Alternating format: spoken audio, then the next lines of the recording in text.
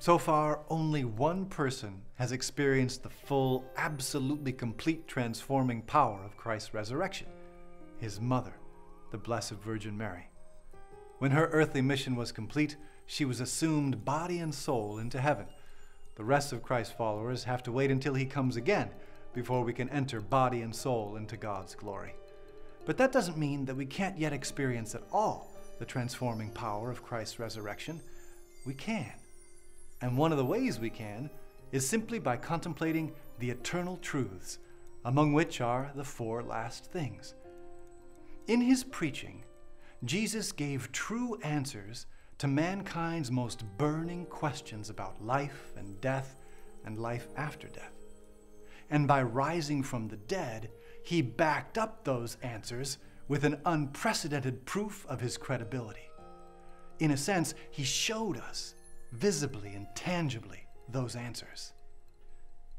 In the past, popular culture accepted and reiterated what Jesus taught us about life and death, but not anymore.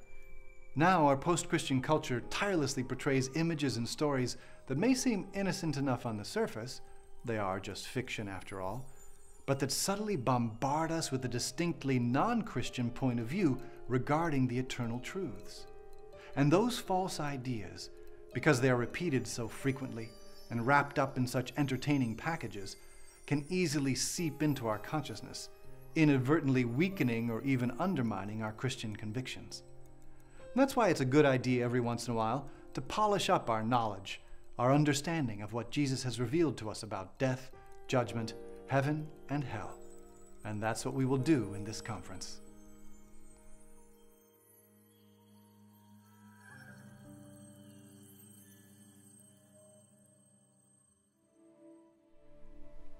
The first of the four last things is death. The Bible teaches us that death comes for everyone, and it comes only once. This directly contradicts two ideas circulating through postmodern culture, ideas that are not, by the way, new in the history of humanity. The first is the concept of reincarnation, that instead of dying once, each human soul is somehow recycled and after dying, it enters back into the world wrapped up in a new body. Reincarnation appears on the surface to be a comforting doctrine. It seems to give people a second chance. If they had everything against them in their previous life and simply couldn't climb out of moral misery, they will be given another shot at living a worthwhile life. But that's a superficial interpretation of this pagan and philosophically untenable position. If reincarnation were true, then human freedom would be false. Instead of truly being responsible for our own actions, reactions, and decisions, as Jesus teaches that we are, we would just be raw material for some kind of universal force, a, force that recycles us however many times is necessary to reabsorb us into the impersonal ground of being. The idea of reincarnation contradicts human dignity. Besides being untrue, it also degrades our vision of the human person. But there's another false idea out there as well. This is the idea that continued technical progress would eventually enable us to overcome death and live forever. Whether through quantum physics or genetic engineering or nanochemical medical practices, outlying prophets of humanity's self idolization hold up this seductive promise of earthly life without limits. It's a new expression of the most ancient temptation, when the serpent in the Garden of Eden promised Adam and Eve that by eating the forbidden fruit, they would certainly not die and would be like gods. But such is not the case. In the fallen world, death comes for everyone sooner or later, and it only comes once. As the letter to the Hebrews puts it, just as it is appointed that human beings die once, and after this the judgment, so also Christ, offered once to take away the sins of many, will appear a second time, not to take away sin, but to bring salvation to those who eagerly await him.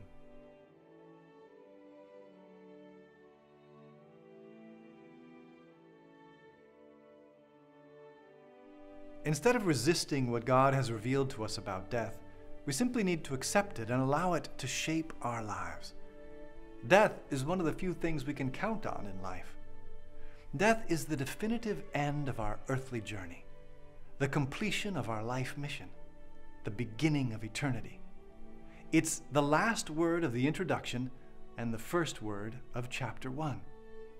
Knowing that each one of us is going to die gives weight to how we live, especially because we don't know when we will die. And so every moment of our lives becomes a chance, an opportunity to fulfill or not to fulfill the great commandments of loving God with all our heart, soul, mind, and strength, and loving our neighbor as ourselves. Death is the period at the end of the sentence we've been writing our whole life long. It's the finish line for the race of life, the completion, the fulfillment, the finale. The postmodern tendency to avoid thinking about death is unchristian. The church purposely keeps the crucifix ever before our eyes. One of the most common Catholic prayers, the Hail Mary, reminds us of death every time we pray it. Holy Mary, Mother of God, pray for us sinners, now and at the hour of our death. Amen. Although death entered the world because of sin, Christ has redeemed it, bathing it in his grace. The surest way to die well is to live well, and one sure way to live well is to keep in mind that we will die. This doesn't need to be morbid. Rather, to ignore death would be morbid, it would be tragic. To keep death in mind in a healthy way, it is enough to visit the cemetery and lay some flowers on the graves of our loved ones, to pray for them. It is enough to live closely the rhythm of the Church's liturgy, which reminds us, gently but firmly, that this brief life here on earth is not all there is. It is enough to minister to the sick, to pay attention to the needs and the wisdom of our older family members. Then this fundamental reality will duly season our attitudes, our relationships, and our personal decisions with compassion and with truth. And then, when death comes knocking at our door, we'll have no regrets, but only smiles, both for the beauty that we left behind and for the beauty still in store.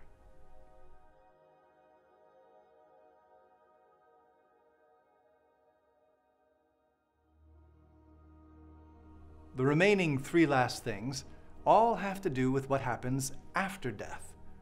This too has been revealed by God. He wants us to know. After death comes judgment. Judgment is simply the moment when we appear face to face before God and he tells us the whole truth about how we've chosen to live our lives, and as a result, the kind of person we've become. Nothing is left out of God's judgment, because he is perfectly fair and perfectly loving. He will take into account every factor that has influenced how we've lived. And yet, because he's given us the gift of freedom, of responsibility, there will be consequences for the decisions we've made. We face God for individual judgment when we die. And then, at the end of history, the last judgment will take place, when the whole human story will be revealed and all evil will be repaired. Here's how the Bible explains it I saw the dead, the great and the lowly, standing before the throne, and scrolls were opened. Then another scroll was opened, the book of life. The dead were judged according to their deeds by what was written in the scrolls. And here's how the Catechism explains it. Each man receives his eternal retribution in his immortal soul at the very moment of his death, in a particular judgment that refers his life to Christ, either entrance into the blessedness of heaven through a purification or immediately, or immediate and everlasting damnation.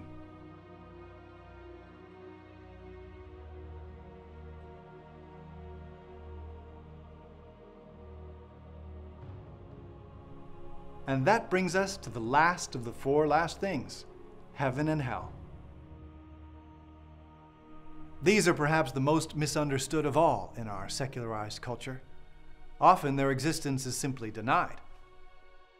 Sometimes heaven is presented as boring and lackluster. No one would ever really want to go to the heaven depicted by Hollywood.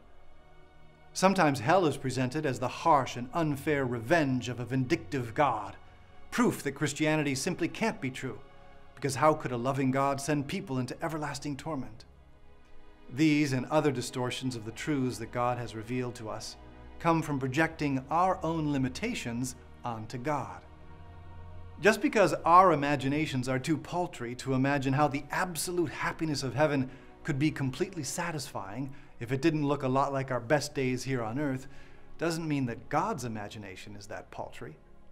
And just because it's hard for us to imagine how some people would freely, repeatedly, and definitively choose to adore themselves instead of entering into a loving relationship with God, in spite of God's abundant efforts to convince them otherwise, doesn't mean that God is going to overrule their freedom and force them into heaven. Here's how the Catechism explains it God predestines no one to go to hell.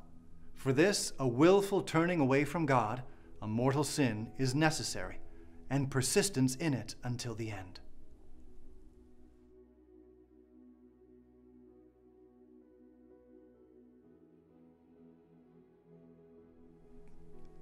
People who die in friendship with God, but still have habits of selfishness and sin, need to be purified of them before they can enjoy the fullness of heavenly glory. This is the origin of the doctrine of purgatory. How that purification takes place is still a topic of debate among theologians, but the fact that it does take place is not only logical, but also a revealed truth of our faith.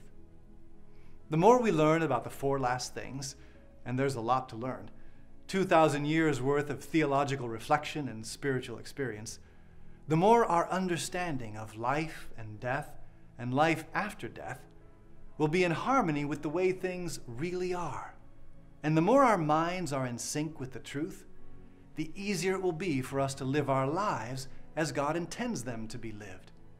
And this is the sure path to experiencing not only the hope filled joy of Christmas, but the powerfully transformative joy of Easter. Take some time now to reflect prayerfully on the 10 questions in the personal questionnaire. They're designed to help you apply these eternal truths to your daily life.